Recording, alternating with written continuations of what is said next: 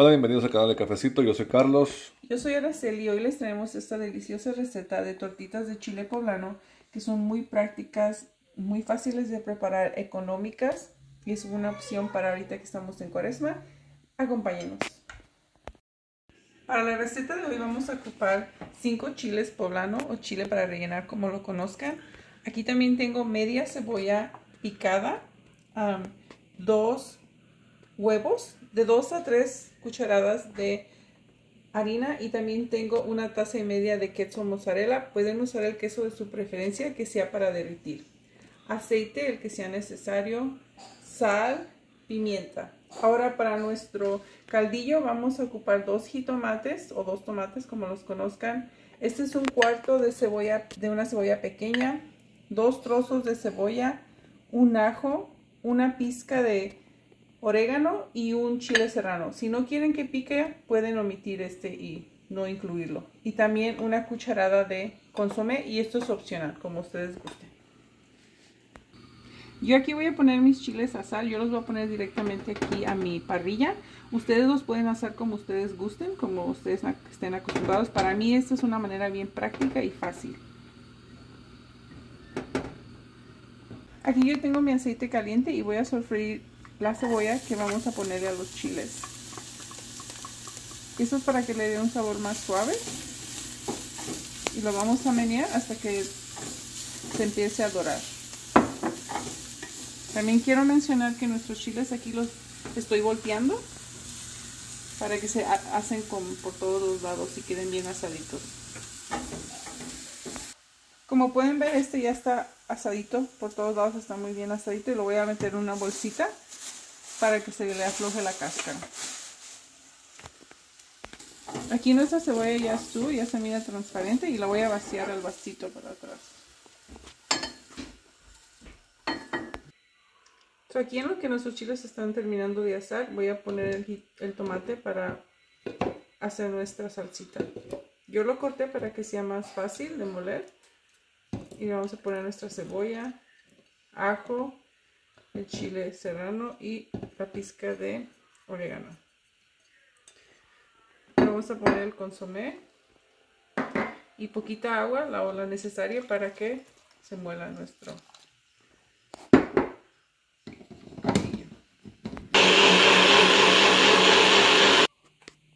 Aquí ya nuestro chile estuvo de, 7 a, de 8 a 10 minutos en la bolsa, entonces lo vamos a remover el pellejito y miren qué fácil es. Y eso vamos a repetir con todos nuestros chiles.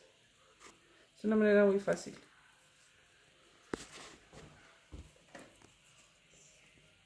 Y por supuesto que con sus manos bien limpias van a estar haciendo este proceso.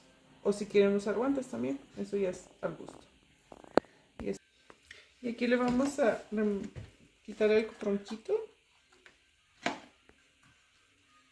Luego vamos a cortar hacia abajo.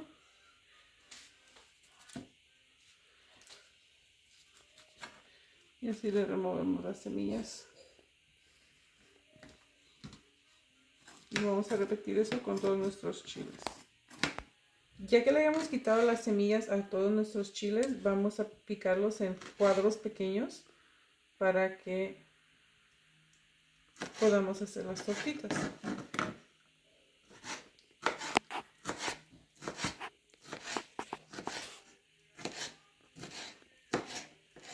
Y así vamos a repetir el proceso hasta terminar. Ya que están todos picados, yo voy a, tratar de remover el exceso de agua para que sea más fácil que se peguen con el huevo y la harina. Y ya después de esto, nos vamos a vaciar a nuestro molde.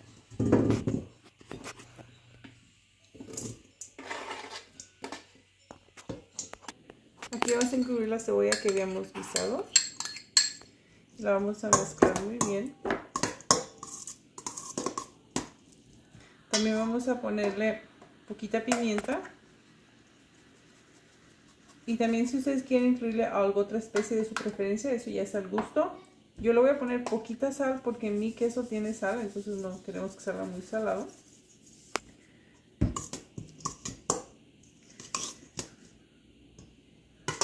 Y vamos a ponerle harina.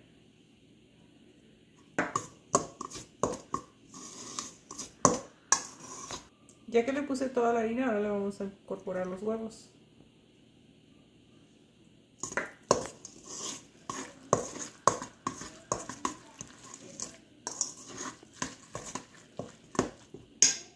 Y ahora vamos a incluir nuestro queso.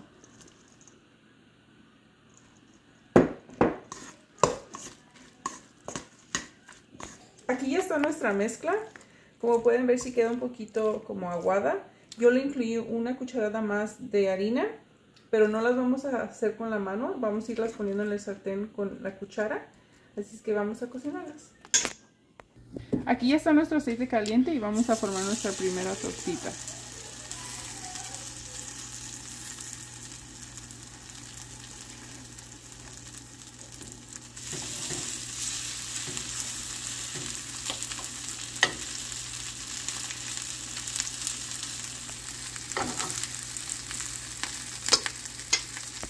Después de un minuto que ya se estuvo cociendo por el otro lado, la voy a voltear y así van quedando nuestras tortitas de chile poblano.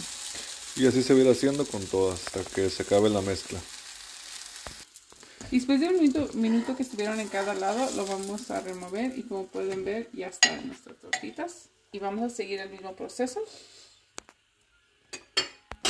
Aquí vamos a preparar nuestro caldillo y vamos a incorporar nuestras cebollas para que se sortíe un poquito.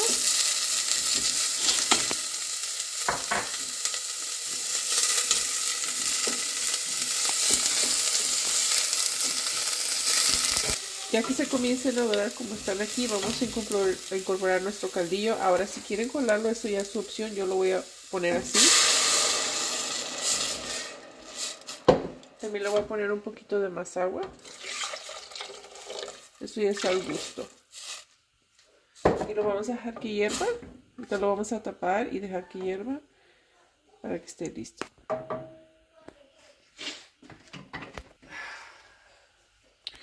Se va a dejar hervir por un ratito para que se cueza. Aquí ya estuvieron todas nuestras tortitas de chile poblano.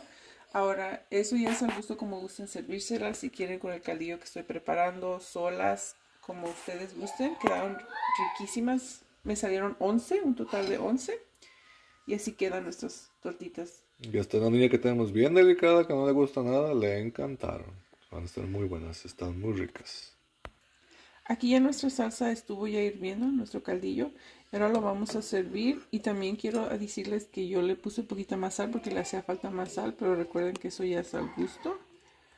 Y también como gusten servirla, si quieren con un arrocito, nomás con el caldillo, como quieran. Aquí vamos a poner nuestras tortitas que quedaron bien deliciosas.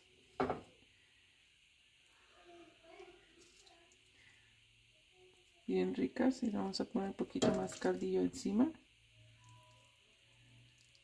Están listas para disfrutar. Aquí estuvieron nuestras tortitas de chile poblano. Espero que les guste nuestra receta.